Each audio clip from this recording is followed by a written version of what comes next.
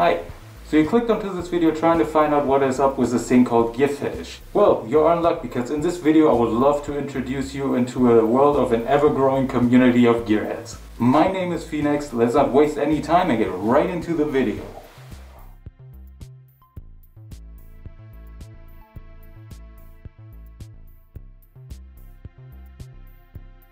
So, what is this gear fetish exactly?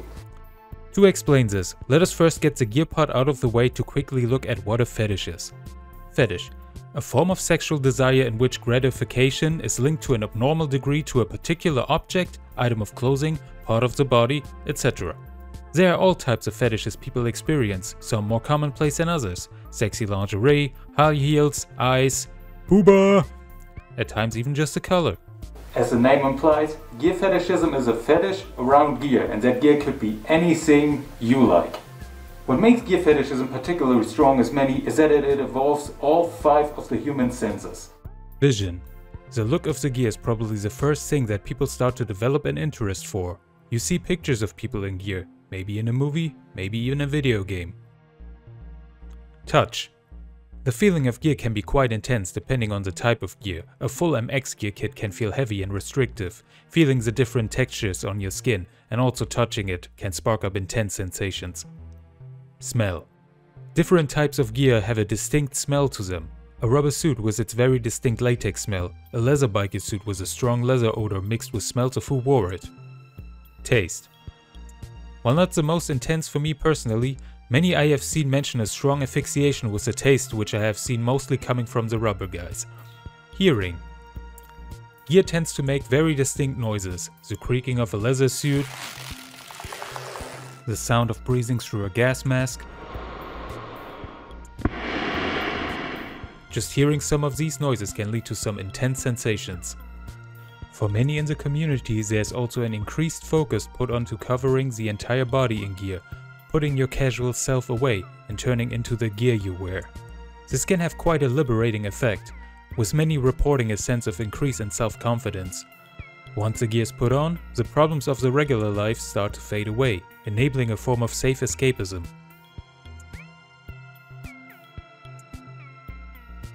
When it comes to gear fetish, there's really no limit as to what you can be into. But one thing many of us agree on, the more of your body that it is covered in gear, the better. So let's go over some common types of gear combinations and gears kind of styles that you see online. Leathers, specifically bike gear. One-piece leather suits, helmets with dark or mirrored visors, big racing boots and thick leather gloves creates a stunning gear biker look. Motocross. Another type of bike gear, motocross changes leather suits for colorful outfits worn with protective gear, motocross helmets and motocross boots. Rubber. Rubber has a long history in the world of fetish, but nowadays is absolutely inseparable from the gear fetish scene. Rubber catsuits, gloves, masks and especially gas masks, which also work great in combination with any other gear type. Neoprene and diving. Diving gear encompasses another type of rubber, be it in form of wetsuits or dry suits. Wetsuits are a tight yet lighter version, while dry suits sit looser but are heavy in weight. Diving masks and a scuba set complete the look. Military and Tactical Military and tactical gear is gear as it would be worn by soldiers or SWAT officers. Fatigues, plate carriers, tactical helmets and tactical boots will ooze dominance out of anyone wearing it. Cosplay Cosplay, while not as prominent, is also represented in the Gearverse. Movies, TV shows, anime, and video games are full of beautifully geared up characters ripe to gear up as. There's so much more types and there really is no limit. It's something where you can really let your creativity just explode into all places. So these are just some examples, but what I really personally like to do is just kind of combine different types of gear and then see what sticks, so to say. Just put on something and then see if it works well in a visual combination. So in the end, it is really about you, what you like, what you are into, what you like looking at, what you like feeling on your body. Just get creative.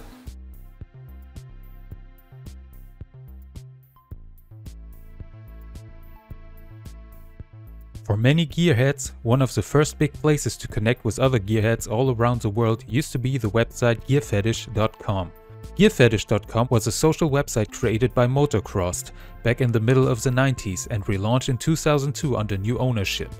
It had personal profiles, forums, an image vault full of web pics, and an ever-growing gallery of photos uploaded by the site's users. At its last stages, it amassed around 55,000 users and had well over 750,000 photos uploaded. Sadly, in 2015 the site was taken offline and since never returned. Editing Phoenaxx shining in real quick. As I was editing this video and trying to look up the gearfetish.com website again, I saw that a new poll has appeared on the website, asking a few questions to most likely see if an interest of the site's return is wanted by the community. If you want to fill out the survey, just head over to gearfetish.com, the link is in the description.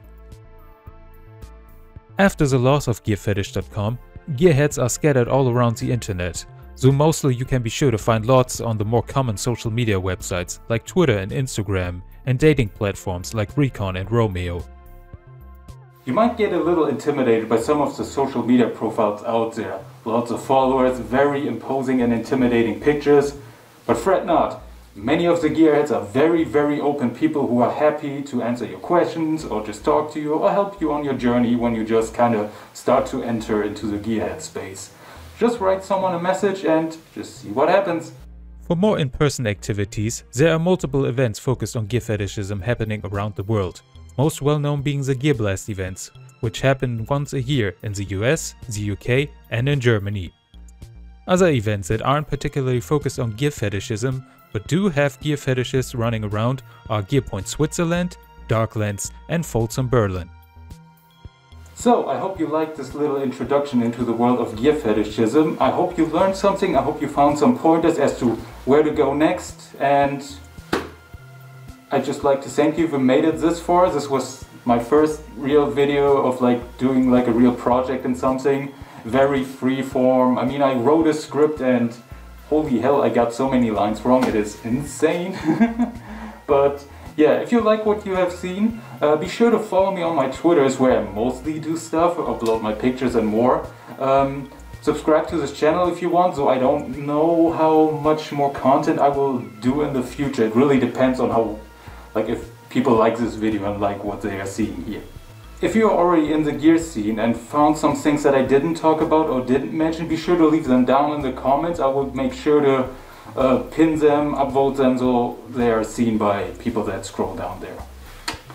Also down in the description you will find all the links to my socials, all the socials for everyone who participated in making this video. Uh, yeah, just check everyone out I guess.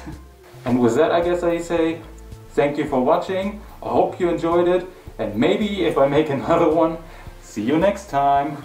Bye!